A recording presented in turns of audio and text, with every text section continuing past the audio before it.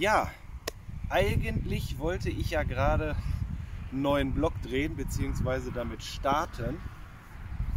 Und äh, wir sind unterbrochen worden.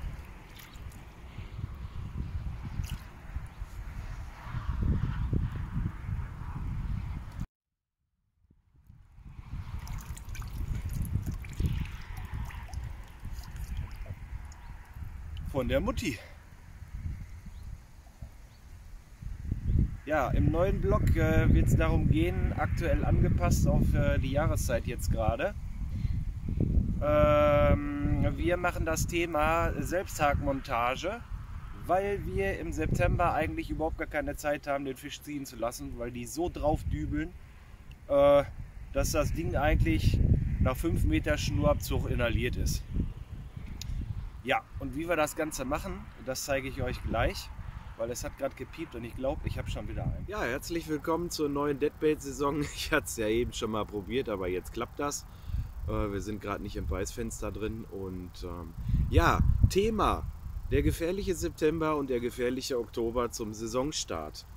Ähm, deshalb so gefährlich, weil ähm, jetzt in dieser Zeit werden die meisten Fische verangelt. Das liegt hauptsächlich daran, dass die äh, Fische halt noch voll im Stoffwechsel sind das Wasser wird gerade langsam kälter und ähm, die dübeln sowas von auf die Köderfische drauf, dass ihr so gut wie keine Zeit habt, den Anschlag zu setzen. Und ähm, Anfänger und, und leicht fortgeschrittene, ungeübte Leute haben so gut wie keine Chance, ähm, da an der Operation dran vorbeizukommen. Ähm, ihr habt ungefähr 10 Sekunden Zeit, wenn der Fisch beißt, dann ist so eine Makrele weg. Und zwar komplett. Das ist jetzt eine Anköderart, habe ich euch jetzt gezeigt, die ist für Ende Oktober. Ja, das ist schon Ende Oktober haarig. Jetzt im September geht das gar nicht. Der Haken muss hier hin oder am besten nur ein Drilling fischen. Sollten wir jetzt übernachten im Zelt, so wie ich es gerade mache, dann ähm, machen wir nur ein Drilling in die Schwanzwurzel, weil ich einfach schon mindestens 10 Sekunden brauche, sagen wir mal großzügig 15, wach werden, aus dem Schlafsack rauskommen, zur Route hinlaufen, Anschlag setzen, dann guckt vielleicht noch so, so ein Stück von der Makrele hinten aus dem Hals raus. Ja, das ist definitiv Fakt. Das hatte ich jetzt bei über zehn Fischen so. Und ähm, tagsüber kann ich dann noch einen zweiten Drilling setzen, den rutsche ich aber noch ganz kurz hier hinten in das letzte Drittel mit rein. Dann habe ich jetzt halt zwei sehr stark nebeneinander. Ist nicht schlimm, aber ähm, ich bin, wenn ich jetzt gerade nicht im Bett liege, ein bisschen schneller. Und ähm, wir fischen jetzt gerade auch ein bisschen anders, wie ihr das so kennt. Und halt zwar mit der Selbsthakmethode tagsüber sowie nachts. Wie das Ganze funktioniert, erkläre ich euch eben. Wir ziehen uns ähm, ungefähr, ja, Routen haben 360 bis 390, wir ziehen uns ungefähr eineinhalb Mal Routenlänge Schnur von der Rolle runter, klippen die an der Rolle in den Schnurclip ein, spulen das Ganze wieder auf, öffnen dann nach äh, Spannung der Schnur den Schnurfangbügel, hängen den Zwinger ein oder wir drehen einfach die Bremse vorne an der Rolle auf. Wenn der Fisch den Köder jetzt packt, das geht relativ schnell. Die packen den mit dem Kopf voran. Ja? Der erste, also Meter Hecht, hat ungefähr ein Maul so groß hier wie die, wie die Hand, so von der Breite. Der packt den einmal, dann ist hier der zweite Drilling gerade noch weg. Dann packt der zweite mal nach, dann ist er direkt weg. Und dann packt er maximal noch ein drittes Mal, und dann ist die ganze Makrele weg. Und dann fängt er an loszuschwimmen. Wir haben im September und im Oktober ganz viele Bisse, wo wir ein, zwei Pieper reinbekommen und ähm, der Hecht an der Stelle stehen bleibt, den Köderfisch frisst und erst dann weiter schwimmt. Das ist das Gefährliche am September und am Oktober. Und ähm, wer dann noch denkt, yo, jetzt kriege ich einen Biss und jetzt, jetzt lasse ich ihn erstmal noch ein paar Meter ziehen, der hat komplett verloren. Und äh, das musste ich euch jetzt einfach mal erklären, bevor das äh, bei einigen Leuten in die Hose geht. Und es wird definitiv in die Hose gehen. Das sind einfach 20 Jahre Erfahrung, die man so mitbringt, wann man wo den Anschlag setzen muss und wie man das äh, tiefe Schlucken umgeht. Da kamen etliche Fragen rein, weil da viele immer wieder Probleme mit haben. Und gerade jetzt ist das halt eine super gefährliche Zeit. Ähm, rutschen wir im, mit der Jahreszeit weiter nach hinten, dann rutschen wir mit dem zweiten Drilling immer weiter nach vorne. Ja, Ende Oktober haben wir ihn hier so ein bisschen mittig und äh, Januar, Februar haben wir ihn schon hier vorne im Kopf. Ja, weil wir einfach, die Fische werden langsamer mit sinkenden Temperaturen und wir haben einfach viel, viel mehr Zeit. Die nehmen den Köder viel, viel vorsichtiger und wir haben viel länger Zeit, den Anschlag zu setzen und den Fisch trotzdem noch sicher im ersten Mauldrittel zu haken. Äh, wie das Ganze mit dem äh, Selbsthaken funktioniert, zeige ich euch gleich nochmal. Ich werde Spot nochmal hier vorne eben aufbauen und euch das demonstrieren. Ja, und dann war es das eigentlich schon zur Selbsthakenmontage. Guten Fisch haben wir schon gefangen und äh, ich denke mal, dass da eventuell noch ein oder zwei hinterherkommen, weil die beißen fast immer zu denselben Tageszeiten im Moment und dann mache ich euch den Fisch einfach wieder mit rein. Ne? Ansonsten erstmal bis gleich. So, ich habe jetzt hier mal meinen Pot aufgebaut und zeige euch jetzt mal, ähm, wie das mit der Selbsthakmontage funktioniert. Das ist eigentlich total simpel, aber absolut effektiv. Wir öffnen nach dem Auswerfen den Schnurfangbügel, ziehen uns hier die Schnur ab, ungefähr eineinhalb Mal bis maximal zweimal Routenlänge, so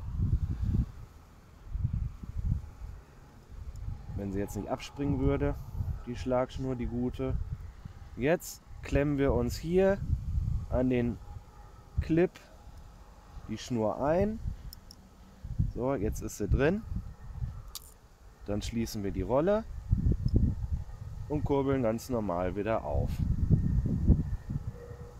So. Dann machen wir den Bissanzeiger scharf. hängen unseren Zwinger ein.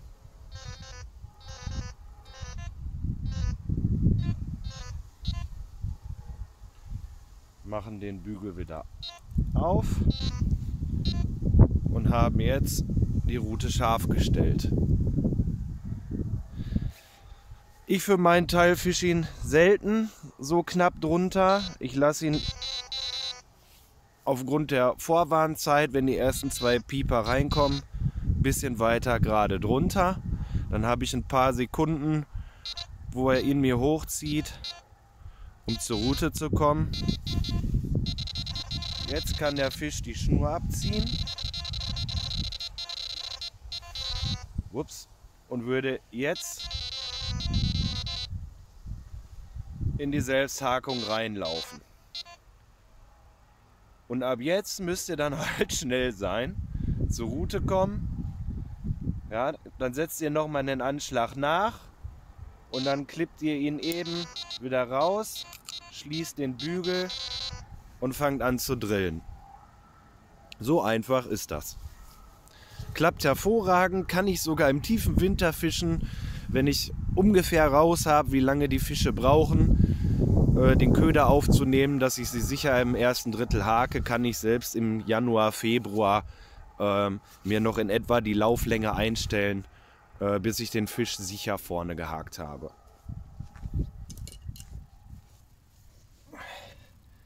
Ja, was soll ich sagen? War fast auf Ansage hier.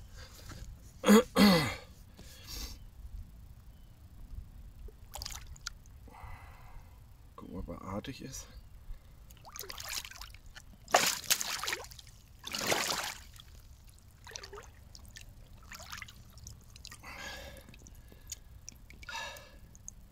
Der Wahnsinn, was hier abgeht. Der Wahnsinn.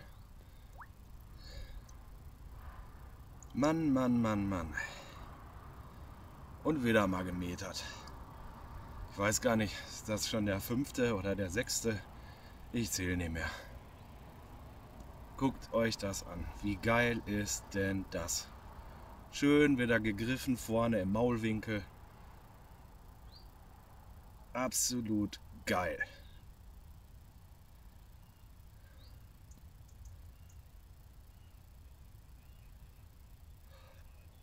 Aber dick sind sie noch nicht.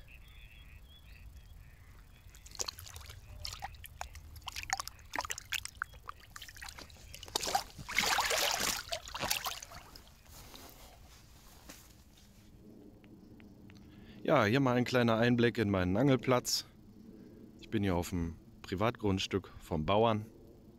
Eigentlich darf man hier im Naturreservat äh, nicht mit dem Zelt übernachten, aber da es ein Privatgrundstück ist, darf ich das. Gibt so ein paar kleine Lücken im Gesetz, die kann man auch ganz gerne mal nutzen. So, ja, ähm, einige von euch haben auch schon mal gesagt, ey, macht doch mal ein paar schöne Drillszenen rein oder füllen wir mal ein bisschen aus Wasser und äh, ja, da kann ich euch ganz klar sagen, nein, werde ich nicht tun, weil ähm, wer seine Spots preisgibt, hat für mich einfach kein Gehirn. Ja, da sieht Drohnenaufnahmen und so sehen auch immer ganz toll aus, kann jeder sehen, wo man ist und ähm, sowas ist bis jetzt noch nie lange gut gegangen. Dann kommt mir nicht der Ansturm und äh, neben ein paar guten Anglern kommt ein Haufen Katastrophenangler und dann gibt es wieder nur noch Verbote, Verbote, Verbote und gesperrte Spots und das wollen wir alle nicht. Deswegen werdet ihr leider bei mir keine Drill-Szenen oder Bilder mit Wasser sehen. Ist, glaube ich, aber auch nicht so schlimm. Ja, das war's auch schon wieder mit dem ersten Block zum Saisonstart. Fangt ein paar dicke Fische. Ich wünsche euch ganz viel Spaß in der neuen Saison. Ähm, ich hoffe, ihr konntet ein bisschen was mitnehmen, ein paar neue Erfahrungen sammeln. Wir haben ein paar geile Fische in die Kamera gehalten. Und äh, wir freuen uns natürlich immer über, über ein neues Like und ein neues Abo. Und äh, ja, das soll es jetzt für mich hier gewesen sein. Ähm, nächste Thema muss ich mir noch ausdenken. Ihr könnt aber auch gerne in die Kommentare reinschreiben, was euch so interessiert. Äh, wir gucken dann da drüber und suchen uns was Interessantes aus. So, in dem Sinne, bis zum nächsten Mal.